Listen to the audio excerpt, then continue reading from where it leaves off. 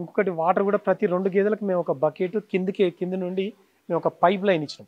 ఎంత వాటర్ తాగితే అంత వాటర్ మనకు పైనుంచి ఆటోమేటిక్ కట్ ఆఫ్ అయిపోతుంది. రెండు వందల లీటర్ల ట్యాంక్ పెట్టాం అక్కడ.